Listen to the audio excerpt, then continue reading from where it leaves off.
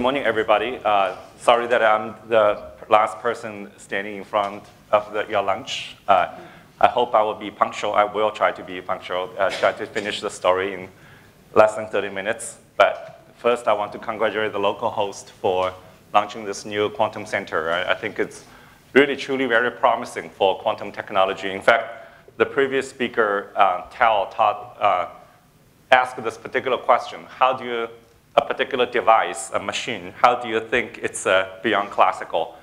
For me, the definition is very clear. The quantum many-body physics, quantum entanglement, and so on will define the next frontiers of measurement science. And that's period. So if you can make a measurement better than classical physics, and I know how to define classical physics if I have 1,000 particles, I know how, many, how, how good I can make a measurement, and I can go beyond that. That shows the quantum technology, the promise of quantum technology, and so on. And so this is really where, where my motivation comes from, is to show quantum many-body physics or entanglement and so on will help redefine the, the next frontiers of measurement science. At the same time, of course, the, my motivation comes from both ends.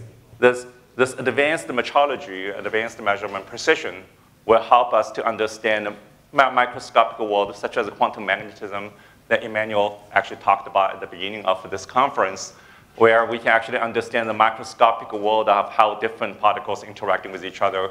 With the, with the level of precision that we have, we can understand quantum many-body, the emergence of orders from disorder and so on in, in, from the uh, first principle.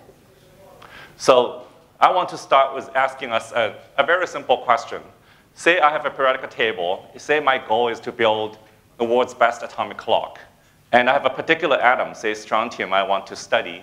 And I, we know that Bohr has given us this model, Bohr's model, where you have electron orbits, and if the transition of between these diff different uh, Bohr orbits from ground state to the excited state has particular energies associated with that electronic transition. And if I can measure that electronic transition, the energies between those two orbits exceedingly well, and use that to tell the time, I have essentially built an atomic clock. But the question is, how do I make the very best measurement of a two-level system like this. And especially, say, a special atom like a strontium I have picked that has a, very, has a very special property. The property being one of the electron, the ground state, of course, lives forever, but there's electronically excited state that spans the two, two so-called two-level system, and that electronically excited state has a very long lifetime. So suppose I make a, a cheesy animation to show this is electron cloud oscillating around the nucleus because you are putting the atom into a coherent superposition between the ground and excited state. And I've slowed down the motion. The, the electrons are moving around with attosecond, or uh, kind of a speed, femtosecond. If I slow down this electronic uh, cloud oscillation by a factor of 10 to the 15, I, I can make an analogy to a mechanical pendulum. And this particular atomic state has an extremely long lifetime the quality factor of this so-called atomic transition, in fact, exceeds 10 to the 17. So if I slow down this electronic motion to something on the order of one oscillation per second, then the, the quality factor of this particular electronic transition means that if you set this pendulum at the beginning of the universe, it is still oscillating today. And this is, a, this is the reason why we use this particular atom, this particular state, to make atomic clocks. And, and the, the, the key question is how do we make the measurement um, at the level where we can match such a great potential of this atom can tell us about the tra transition energy and, and, and the quantum states.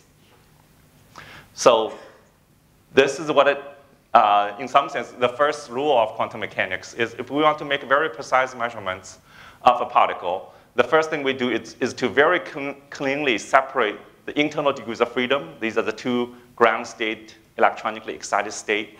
These are the internal degrees of freedom of atom, and this is the external degrees of freedom of the atom.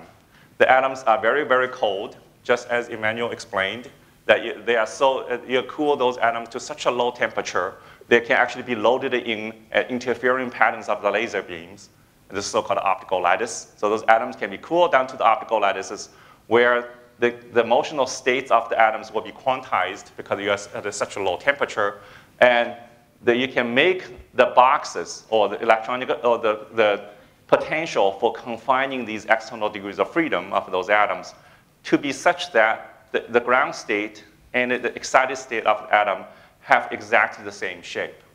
If you can achieve this, you can imagine that you have two harmonic potentials, external potential, external confinement potentials, that is identical for the two internal states. So whether the atom is in the ground state or excited state or in coherent superposition of those two states, it does not matter because the external degrees of freedom of the atom experience the same external potential. And the external potential have those motional degrees of freedom quantized. And when you make a transition from ground state to the excited state, when you're looking at the internal degrees of freedom of the atom, the external degrees of freedom is in fact can be factored out. And this is a, a rule number one in, in quantum mechanics where you can cleanly separate all degrees of freedom and making all of them into the quantum regime. That's where you can make a very precise measurement from the ground state excited state, not being influenced by the fact that the atom might be moving around. You may have first order, second order Doppler effects, and so on.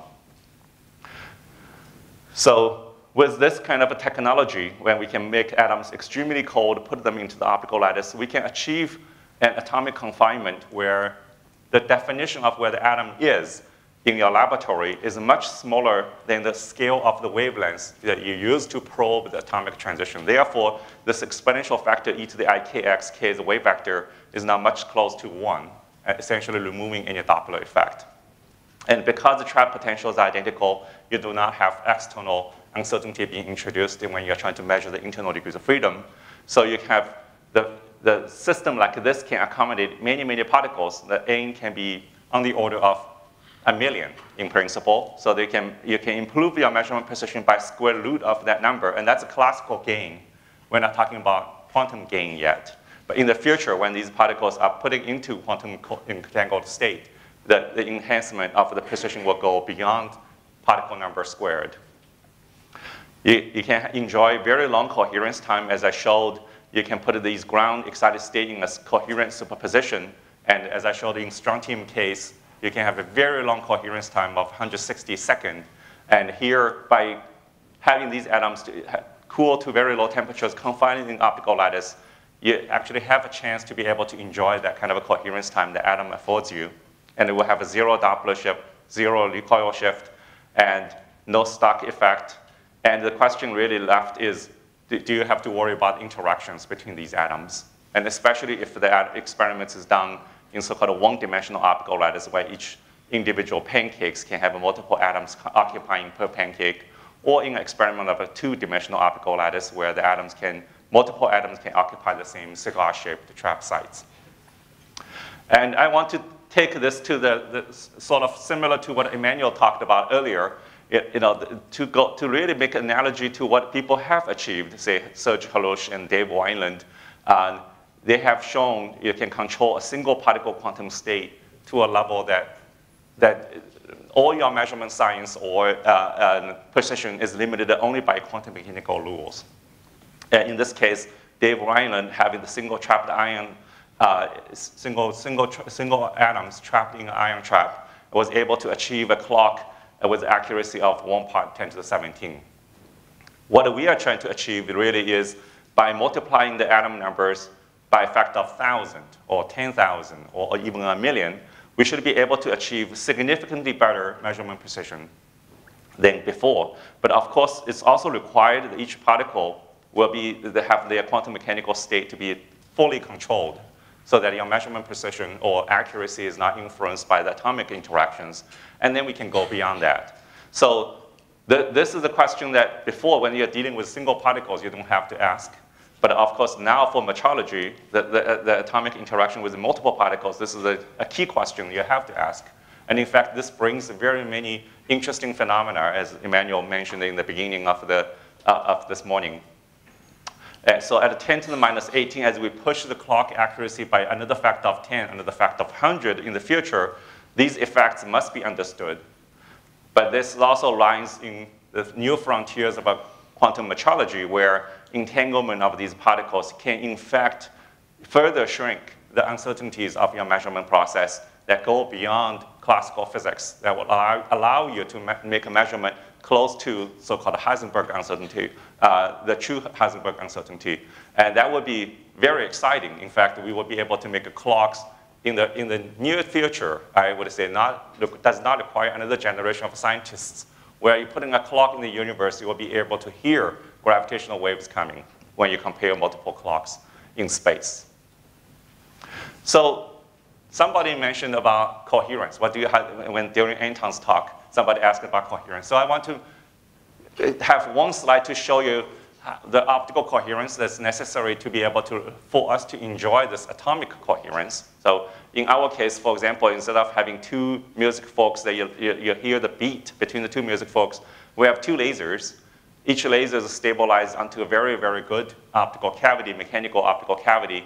And you bring the two lasers together, put them on a common photo detector, and you can hear the beat between the two optical waves instead of two acoustic waves.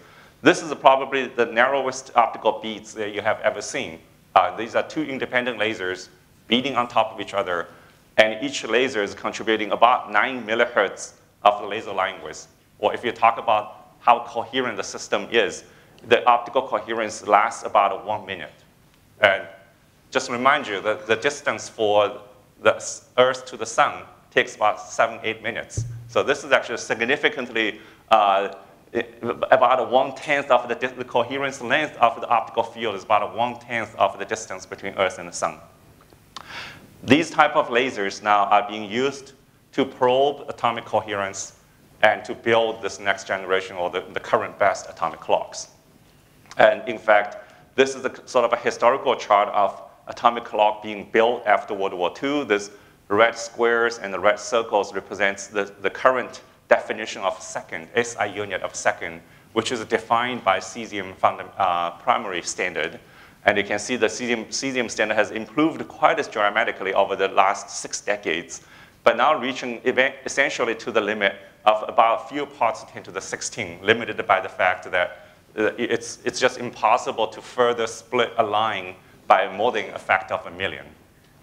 And on the other hand, optical clocks as coming on the scene, this these green diamonds are actually Dave Wineland's aluminum ion clock. And you can see it drops down in, in terms of uncertainty of the measurement fairly fast over the last decade.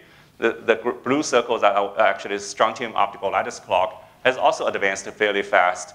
And in fact, at the moment, really defines the best atomic clock at the moment at, an uncertainty of 2 times 10 to the minus 18 level, which essentially tells you that if you move your clock by a couple centimeters on Earth, it will have, that we will be able to have that uncertainty to be able to measure it by atomic clock directly on, the, on that redshift.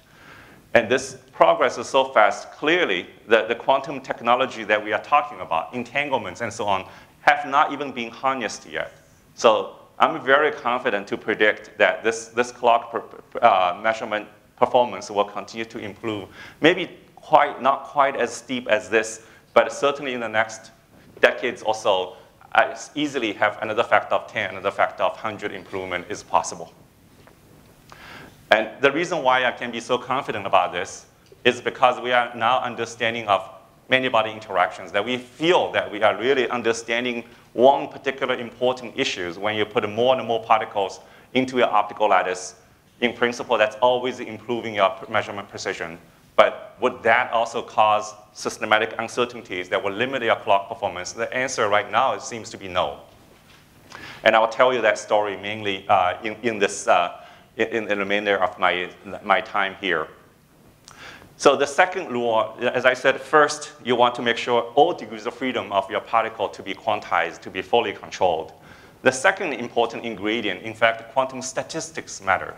And this is we already know if you use fermions instead of bosons to, at a very, very low energy, at a very low temperatures, this, you, you can use the fermions to reduce the so-called collisional frequency shift of a clock. When the particles are fermions, when they approach each other at very low temperatures, they tend to have this so-called P-wave uh, barrier to protect them. That's because the exchange wave function between these particles have to have a negative sign. Uh, and we heard about anyons earlier. Where the, the, the, this could be e to the i theta. But in this particular case, when it's a fermion, it's just a minus, it's just a minus sign, e to the i pi. And in this case, that tells you when temperature is really low, these two particles cannot approach each other with so-called S wave, when the angular momentum equals to zero. You have to have at least one h bar unit of angular momentum when the two particles approaching each other if they are fermions at low temperature. That means that you can potentially reduce the collisional clock, clock frequency shift because these particles are no longer colliding when temperature is very low.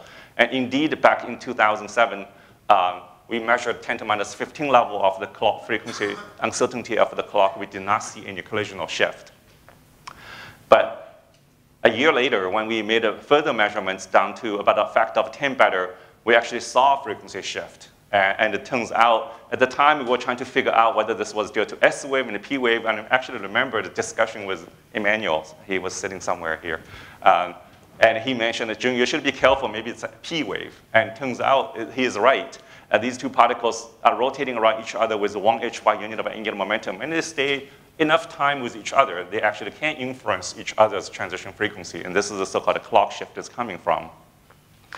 But once you understand where that's coming from, you can actually really go ahead and uh, use this to study many-body physics. We, I will show you a couple slides on how to use a P-wave to study spin-spin interactions in, the, in these individual pancakes. But also for metrology, we can also reduce that frequency shift down now below 10 to minus 18 level.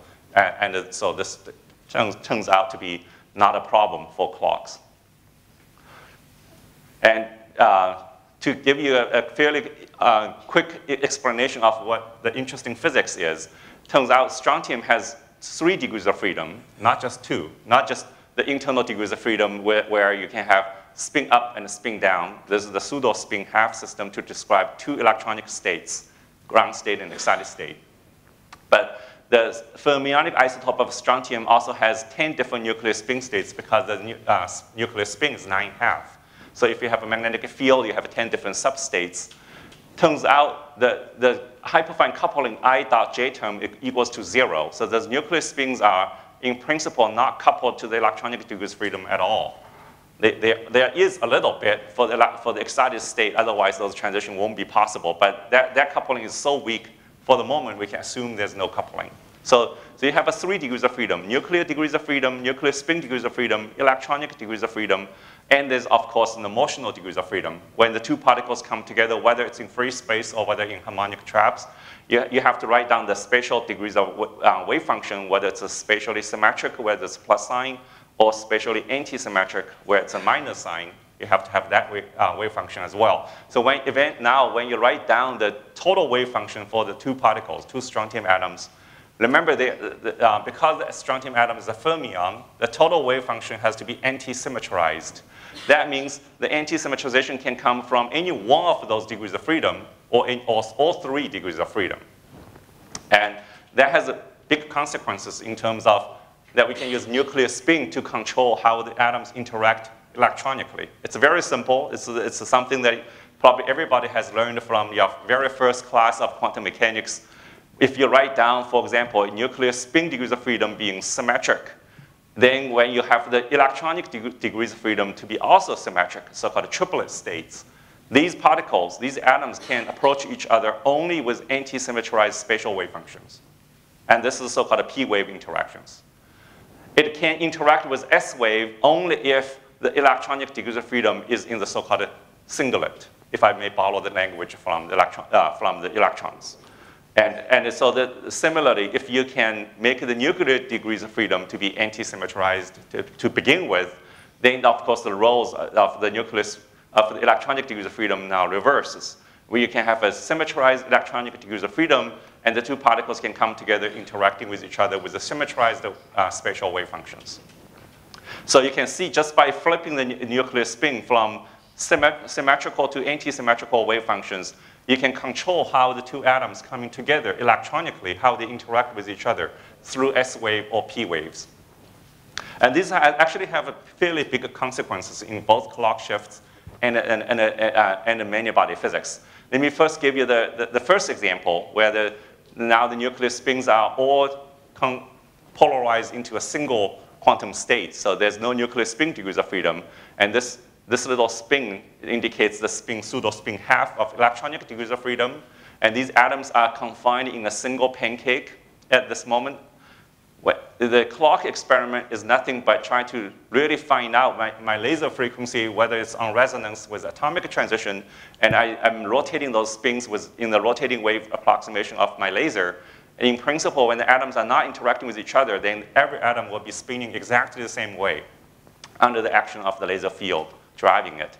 But if there's an interaction, it, it can be very, very weak because we pick those atoms to be fermions. And uh, those very weak interactions you know, can be, have energy scale on the order, order of hertz. But if my laser is very, very, is, has a very long coherence time, say 10 seconds or a minute, if you just wait there, then this interaction energy times the time you waited becomes much greater than one. It means all these spins used to be independent, now their quantum fluctuation can become correlated. This is exactly spin half Hamiltonian problems people study. Another way of thinking about it is as you rotate this on the Bloch sphere, your spin half systems, you compare the interaction energy with your Rabi frequency that you're rotating your spin half. If your interaction energy is much greater than that, then you will see that ex excited spin state will have very strong, complex correlated spin spectrum. And, and when, you, when the atom is being excited from the ground state to the excited state, you actually see this, uh, as you increase the probe time, as you increase the the coherence time of your system, you can actually see the line shape goes from a very well-described single particle Rabi line shape to something which is, looks like an interaction blockade line shape, where that line shape actually becomes broader instead of narrower when you go to longer, longer probe time because of the existence of interactions that you have the very complex spin spectrum. You can also do that with Ramsey spectroscopy where you can start with all the atoms spin down and you're putting them into a coherent superposition between the excited and the ground state, and the, the circle indicates the quantum noise of each individual spin. If you wait for a little while in the dark time, those spins become correlated, and in fact, it becomes un, unclassical. And you can actually see that, really? Two minutes? Um, no, I started.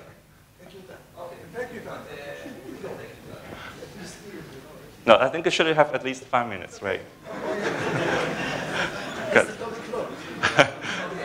so, so, sorry, yeah, we'll try to finish in five minutes. And it become correlated. And then you can actually measure the correlation of those spins. Uh, you know, as you can see, the, the minimum of the spin noise actually gets shifted away from the classical point. You can also measure the frequency shift uh, as a function of the, the angle of your tipping angle. And you can see the, the, the so-called clock frequency shift as a function of your excitation angle very nicely uh, follow a linear line and it crosses zero at a particular angle of your excitation, say, say 60 degrees or so. And this kind of, it's kind of interesting to, to think about the clock shifts with the polarized nuclear spins.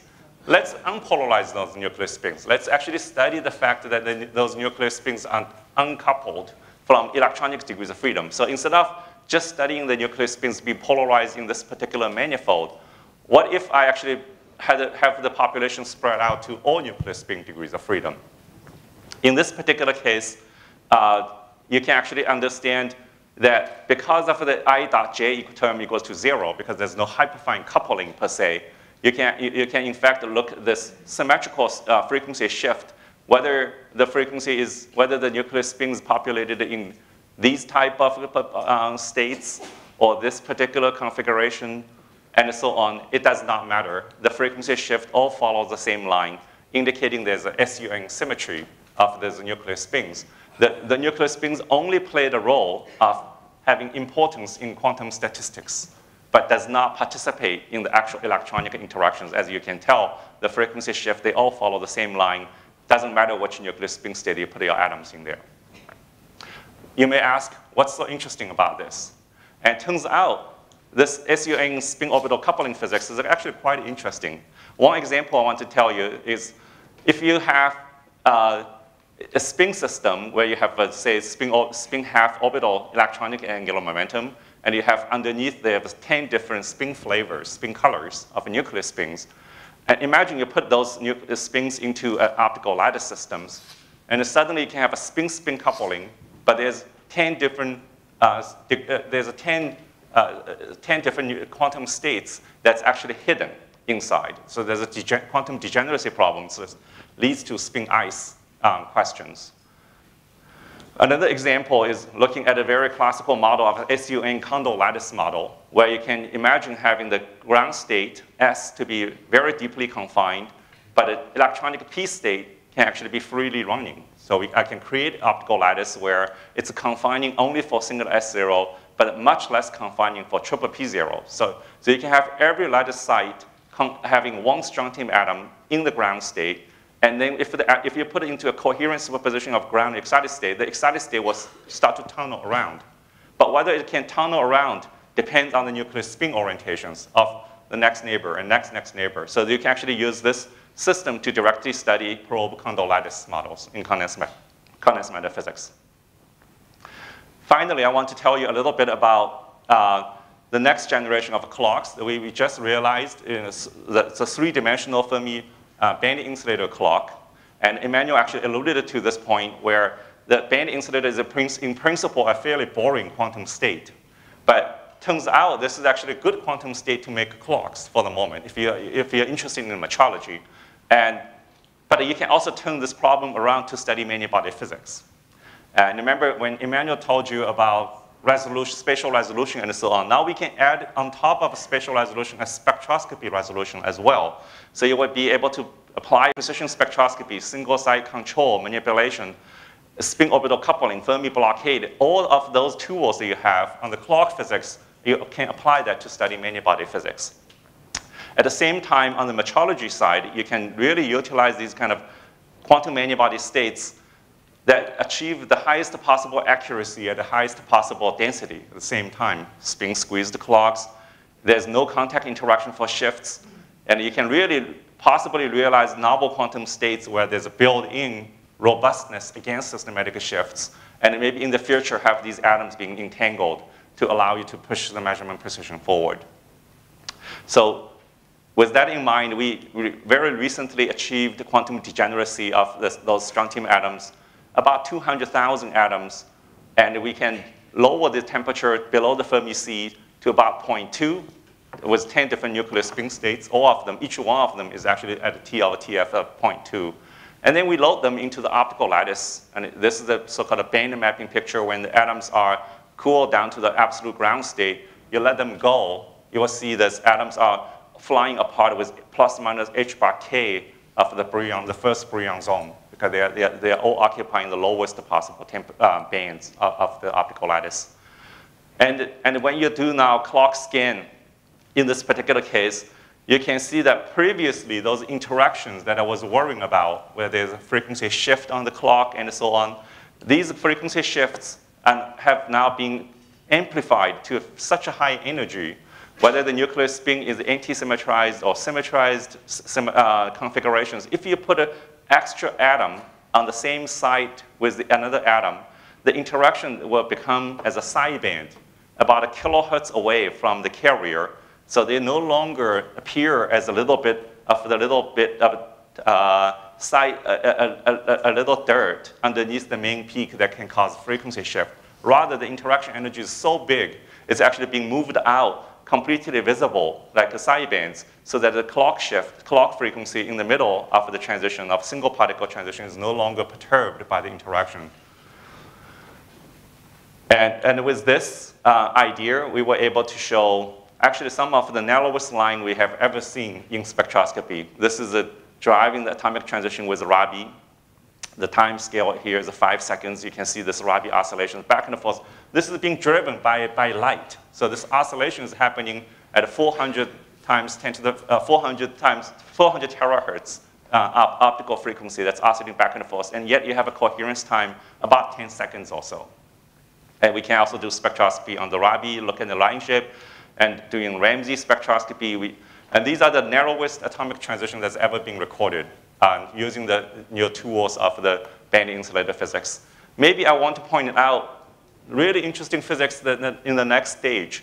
In fact, is the collective dipolar couplings when you have atoms that confine in optical lattice that now we have solved the problem of contact interaction where the atom can no longer contact with each other to cause frequency shift. There will be another interesting mechanism of physics that will cause frequency shift which is as you excite the atom from ground to excited state, making a coherent superposition of the dipoles, there will be dipole-dipole coupling in the form of the retarded dipolar interaction e to the i kr over kr that will give rise to a frequency shift on the 1 part 10 to the 19 level. But this is, a, in some sense, the beautiful physics that we want to study anyway. So it connects to Rydberg physics, connects to uh, molecular physics that we have been studying, and so on. So, you know, in some sense, it exactly reflects on the point I made earlier. As you push the metrology precision to the next level, there will always be new physics problems arise that you can study. And, and on the other hand, once you understand how the, the mechanism of the physical couplings that cause frequency shifts, you can always use this to, to cancel the frequency shift, but meanwhile understand a many-body quantum physics to a level that, that does not exist before. Uh, I was actually going to tell you about the connection to molecules, but I, I run out of time, so I'm going to pass through that really fast. Actually, I was going to make a connection to the many-body localization that Immanuel talked about using, using molecules, but unfortunately I used up my time. Um, so go to the end. So I want to uh, come to the end and thank people who have been collaborating. Actually, the most recent work of atoms in three-dimensional optical lattice is done by these five people. Uh, graduate student Sarah Campbell, Ross Hutson, exchange student from Zurich who actually is going to go join uh, MPQ, Immanuel's group, Nelson, and two postdoc, Ed Marti and Aki Goban from Caltech. Thank you very much.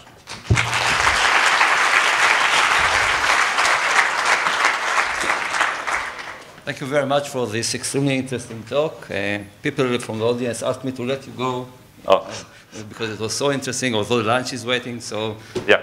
few questions. There was a certain angle of the Bloch sphere about 60 degrees where. So actually, the reason there's, at a particular angle there's no shift is has to do with uh, the p-wave interaction in the excited state has a particular scattering length. The ground state has a particular scattering length, and is in the coherent superposition. So they, they, of course, those scattering lengths depends on the atomic property. When you have two atoms coming, coming together, there's a van der Waals potential, and you can describe this. So those numbers are whatever the numbers come from, from nature, and it turns out at 60 degree, those numbers adds up to be zero. I'm wondering the 3D lattice degrees, the last results you showed, beautiful results of the bandwidth. How do people worry when you tune usually slightly the frequencies of the frequencies to avoid crossbow? Yes.